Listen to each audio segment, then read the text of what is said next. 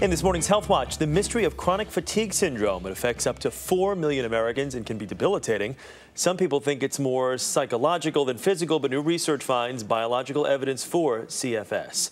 Medical correspondent Dr. Jennifer Ashton is here now with the latest on this new study. Before we get to the results, though, and good morning to you, good let's, morning, Chris. Uh, let's talk about exactly what it is for people who are a little hazy on this? Well, Chris, when, when as doctors we're taught about the disease, any disease, we're taught that a sign of a disease is something that we can see or anyone else can see, and a symptom is something that only the patient can feel. Chronic fatigue syndrome unfortunately is a very vague and complex disorder that really doesn't have any signs, but it does have symptoms and they can be debilitating and they really can range from everything from muscle aches and pains to memory problems or psychological or psychiatric issues, severe headaches, sleep issues or insomnia, or even tender or painful lymph nodes. And the list can go on and on. And this is not something that a little nap is going to take care of. Only about 5% of patients with this disorder get any resolution of their symptoms. So now let's talk about the research and what exactly what causes this and what can uh, what can people do to get rid of it. Well, what's really exciting, this research was done in New Jersey, and they studied the spinal fluid of patients